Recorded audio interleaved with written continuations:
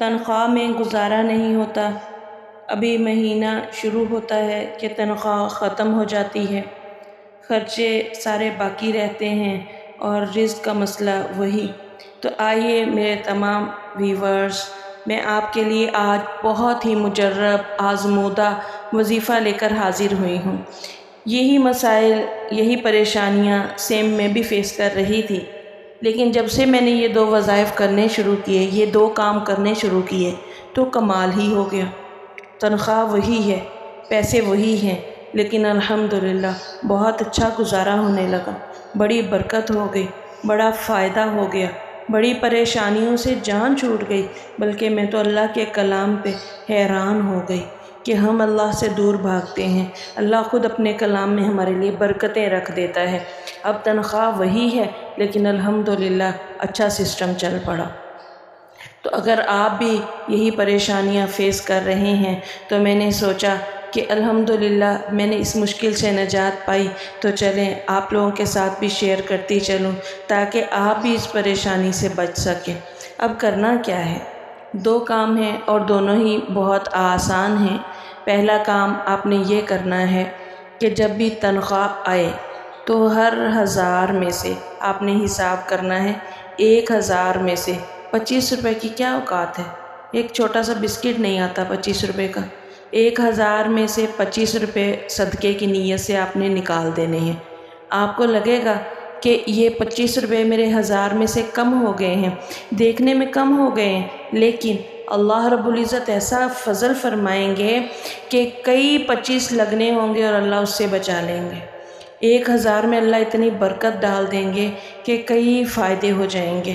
اگر آپ کی تنخواہ مثال کے طور پہ چار ہزار ہے دس ہزار ہے، تو ہر ہزار میں سے پچیس کے حساب سے آپ نکالتے چلے جائیے۔ ہر چار ہزار میں سے ایک سو روپیہ۔ اگر آٹھ ہزار ہے تو دو سو روپیہ۔ اگر بارہ ہزار ہے تو تین سو روپیہ۔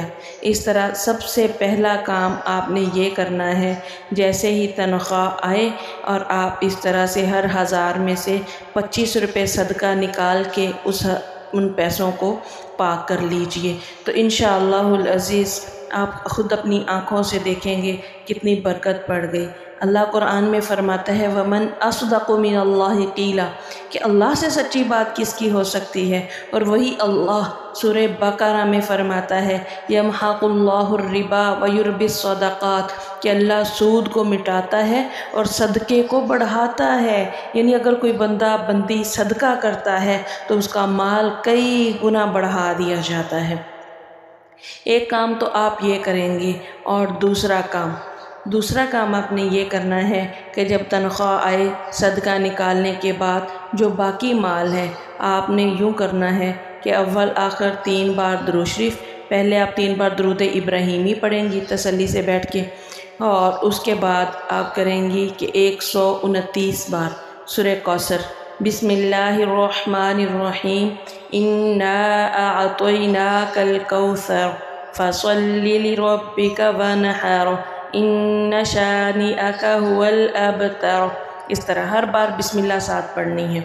تو جب آپ ایک سو انتیس بار یہ پڑھ لیں گی، تو پڑھ کے آخر میں پھر آخر تین بار درود ابراہیمی پڑھیں گی اور جو آپ کے پیسے ہیں ان پہ آپ پھونک مار دیں گی۔